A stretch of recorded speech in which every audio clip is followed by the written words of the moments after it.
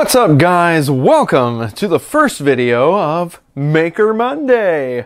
So, hope you guys' Monday is going okay. If it hasn't started yet, if you're watching this early, then I hope that this starts your Monday off with the right foot here. What we're going to be looking at today on this first Maker Monday, since I've been finally got my 3D printer to actually work, it's been it's been a battle. We're going to look at some stuff on 3D printing. What we're going to check out is I've got some failed prints here. Um, so I'm going to check out a couple of things that you maybe not do. What this series is going to be about, this Maker Monday, is I'm hopefully going to be able to connect to you guys at least once a week. I may miss it here and there, but hopefully for the most part, I'll try to connect with you guys, see what you guys are up to. You guys can see what I'm up to, and it shouldn't take too long to do so. So hopefully guys we'll be able to just run through a few things uh, kind of relax after the first hectic day or maybe before the hectic day of monday starts. I don't know about you my mondays are always kind of crazy.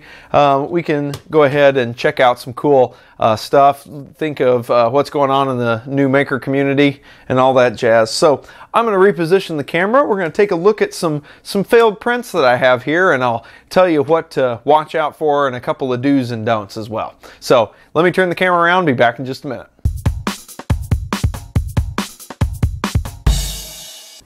Okay guys, so I've got some failed prints here. Um, this one looks like a pretty good print, but I'll show you here in a minute why I kind of consider this to be a failed print.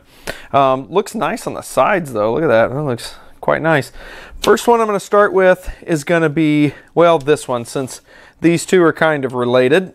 I'm going to zoom way in, hopefully my focus doesn't get crazy, hopefully it'll focus.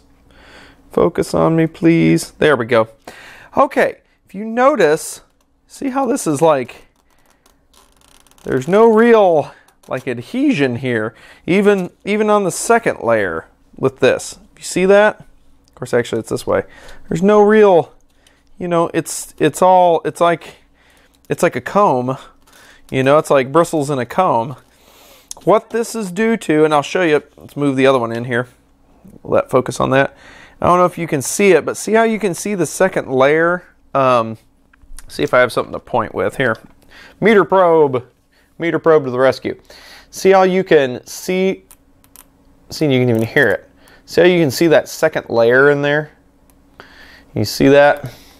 So that's basically it's it's the plastic's not mushing all together and giving me a nice clean surface like like it is on the side. See the side, the side that's like that's perfect. Look at that. That looks really good. Let me get it in the light. There we go. That looks really good. Um, and even the bottom, even the bottom, the bottom looks fairly smooth, but you still you can see kind of like a like a plaid pattern because you can actually see through the layers that is in there. And you know, like this one's real bad. What is happening here, at least for me, is I thought for the longest time that what was causing this was uh, the the the actual system. Like it was it was wrong. Like it was coming over too far or something. Technically what it is is it's under well it can be a few things but the thing for me was under extrusion. It actually was not extruding fast enough. It was actually drawing the line and moving so fast that it couldn't extrude enough plastic to thicken up the lines to actually to actually get this to adhere together side to side. So what I did to fix that, there's two different things you can do. Well, I guess three different things that you could do to fix this. Um, number one is slow down your print. Your print speed may be way too fast and it's just moving so fast the extruder can't keep up with it. So if you have a print speed of like, I don't know, 30 or 40 millimeters per second, you need to slow that back or rein that back in to a slower setting. Also, on that same topic of speed control, maybe if you if you do that and that's kind of a global command, maybe the speed on the edges, maybe that is too slow or something. Maybe then it's it's too slow and then it's like really gooping up these edges on the border and that becomes a problem. What you can do, there should be an infill speed. This is considered the infill in here.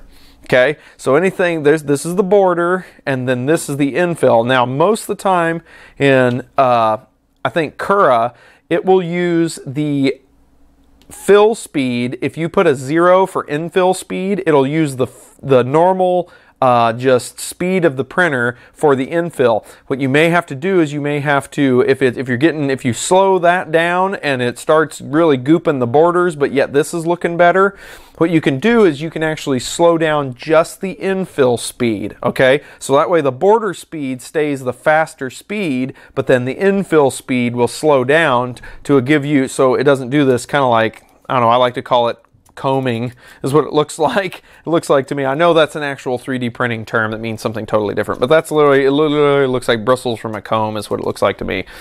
But anyway, so it'll stop this. It'll stop that. Also, you could it could be your temperature. Your uh, temperature of your extruder may not be hot enough, and so the extruder is actually struggling to, to push the plastic out, and so it's just not coming out as fast. So you might want to heat up your extruder a little more. Maybe change it 5 to 10 degrees and make it a little hotter to see if uh, it'll extrude a little better. So that can be an issue. Um, let's see, what else can we do here? The... Uh, uh, those are kind of the main ones. Like I said, for me, that's that's what fixed it for me was slowing it down. Um, helped because speeding or uh, heating uh, heating it up actually didn't help for me. It actually just actually caused more oozing to happen. Was what happened to me. So that's that the slowing down the infill speed was actually what did it for me and actually helped it on uh, future prints. So that's one that I wanted to show you. Another failure that I have here and this is a nasty failure. Look at that. Ooh, there's all kinds of gooberies going on. Okay, let me zoom in and you'll probably see exactly what happened once I start zooming in. Can you see it yet? You see what happened? If I zoom in. So, what happened to this bad boy is it was actually sitting in this orientation, printing right along, doo doo doo, even even got pretty thick too. It was actually printing pretty good. And then all of a sudden it decided that this this uh, I guess Y in this I guess you'd say, but this right here, this edge, it decided that it was about an inch and a half down here, all of a sudden.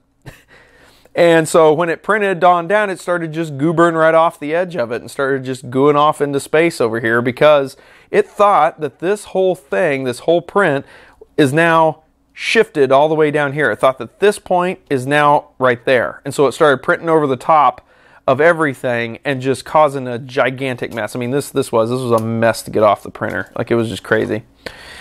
What could cause that? Why did that shift its level like that? Basically, it was printing along. This is the same print. You can tell I've I've had some experience with this. It was printing along this, and all of a sudden it went, "Oh, this is down here now," for no apparent reason. Well, there is a reason. There's always a reason for something. It's doing exactly what it's supposed to. You just don't understand why it's doing it. So, what the deal was with this was the bed actually shifted on me. The bed actually, what was happening was the stepper motor that controlled this, which is the y axis movement, actually was skipping teeth on the belt drive. As it was turning, what was happening was things were getting into a bind and it was actually skipping teeth. So when it was coming back, or rather probably going forward, it wasn't going forward far enough. So it thought that it went this far forward when actually it only went that far forward. So then when it came back on the backstroke, it brought it way too far back, or well, I guess it'd be way too far forward. And so it actually started printing way down here because the stepper motor, stepper motors don't have a feedback mechanism, mechanism, sorry, like um, uh, servo motors do. They just, you tell them how many how many uh, steps to move, and they move that far. Now, whether the actual uh, thing moved that far, whether in this case it was the bed of the, the 3D printer, whether it actually moved that far or not, well, that's a mystery to the stepper motor controller, okay? So that's what was happening. Found out the thing that was causing this problem was actually the uh, the bed was tightened down too tight because I had to remove my print bed to add the uh, heated bed option to put the heater on it. And when I tightened it back down, I tightened the bed down so tight that it actually kind of warped the bed, or at least the bed rails that it runs on. And so when the printer was moving it back and forth, it would move it and then pretty soon it'd get so hard to move that it would actually start skipping and I could actually hear it. It'd actually click. As the motor was turning, it would literally click and skip teeth on the motor. once I figured that out, I loosened all the screws on the bed and then very, very uh, gently tightened them all back down. Didn't put the super crank on it, just tightened them all snugly and made sure as and slid the bed back and forth, made sure it was real nice and smooth. And voila, it, it, it prints like a dream. Now I actually have this show it to you. I'll show you guys in a later video uh, how to make this, but essentially, back this up. There it is, all finished and printed and looking good. And it's a solder holder. You can pull your solder out with it. Comes in handy for me because I do a lot of soldering. Um, since I help friends, I do stuff for this channel and everything. It's nice to have a little solder holder. And that's exactly what I made. And so yeah, printed beautifully. I mean, that came out that came out awesome. That came out great. So anyway, so that was that was the that's a good tip for you guys. There's a couple of failed prints to show you guys what can actually happen on a printer uh, on these 3D printers and whatnot. But that shows you a few things, gives you hopefully a few tips. Well, guys, I hope that gave you a couple of good tips uh, to learn for your 3D printing endeavors. I believe that those tips will work on pretty much any 3D printer. It does not have to be the uh, same printer that I have. Um, this material, I will tell you, was ABS material, so it was not uh, PLA. But uh, they, there's some pros and cons to them. I'll talk about them in a later video. And also, one more thing, another later video is I'll show you how to make ABS glue because you will need this. You will need this a lot. If you're going to be printing ABS, you need something to stick that stuff to your bed. And we will address that in probably another video because for now, I think, let me check my watch. Yep, I believe we are probably out of time for this Maker Monday, but uh, I hope that this has helped some of you. Uh, know it would definitely help me if I knew some of these tricks because it avoids, it avoids that. So, anyway, guys, I'd like to see you again next week. I'll probably be releasing some more videos. I'll be releasing a 3D printing video. Yay! Um, and I'll explain some of the settings, some of the software, some of the uh, problems that I've had. And we will continue that road on the 3D printing. Probably Maker Monday. We'll uh, talk about different methods and whatnot for 3D printing as well as everything else. We'll talk about electronics, we'll talk about meters maybe, we'll talk about meters, what kind of meters there are. Um, we'll talk about sensors, you know, all that stuff. We'll talk about everything, anything and everything. If you guys have an idea for a Maker Monday, something simple that you would like me to talk about, that you'd like more information on, that would be, you know, 12 15 minutes long, then please submit that in the comments below. I would love to hear it and we'll talk about it. So, uh, guys, like, subscribe, share, all that jazz. Uh, check me out on Twitter and Instructables. And with that, guys, Hope you guys have a good Monday. And if you, you're watching this to the end, hope you had a good Monday and build something makery for Monday. And in your comment below, tell you what, use the word maker in your comment below. That would be awesome. We'll see how this goes. Catch you next week on Maker Monday. Take care, guys. We'll see you next time.